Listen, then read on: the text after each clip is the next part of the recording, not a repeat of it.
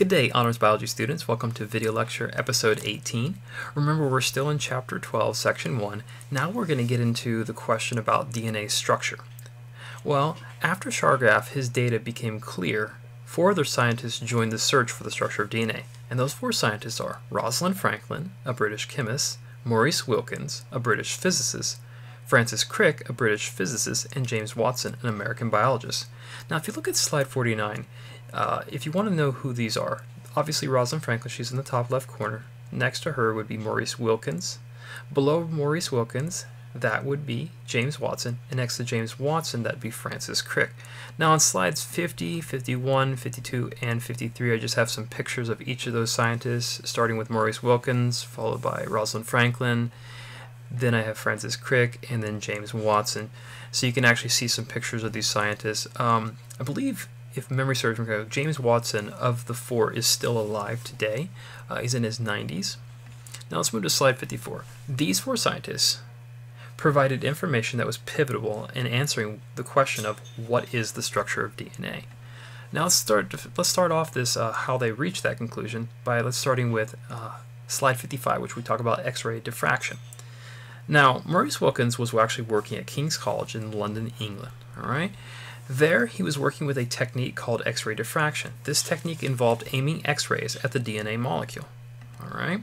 Now, in 1951, Rosalind Franklin joined the staff there. While on staff, she took the photo, which is famous in relation to helping with the structure of DNA, and it's referred to as Photo 51. If you look at slide 57 and 58, and I believe 59, I actually have that image on there so you can see what that looks like. Now, as you can see from Photo 51, DNA has what we call a double helix structure. Double helix is a twisted ladder shape. DNA structure is formed by two strands of nucleotides twisted around each other. The species on the structure were determined later, or excuse me, the specifics on the structure were determined later by Watson and Crick when they used this data from Franklin and other mathematical data.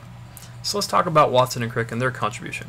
When one mentions DNA, it is hard not to think of these two scientists, and that being Francis Crick and James Watson. Watson and Crick were working at Cambridge University in Cambridge when they saw Franklin, Rosalind Franklin's X-ray diffraction picture of number 51. Using Chargaff's data and Franklin's data, Watson and Crick measured the width of the helix as well as the spacing of the bases. From this, they built a model which, conf which conformed to the data, and it can be seen if you look on slide 61.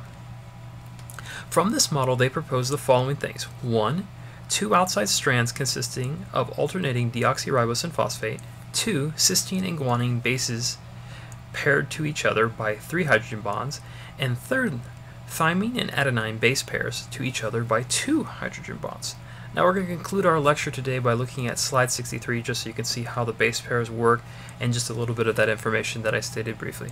I do hope this lecture has been helpful. If you have any questions, leave those in the comments below. Reach out, send me an email, send me a message. And I, once again, I do hope it's helpful. Have a nice day. Take care.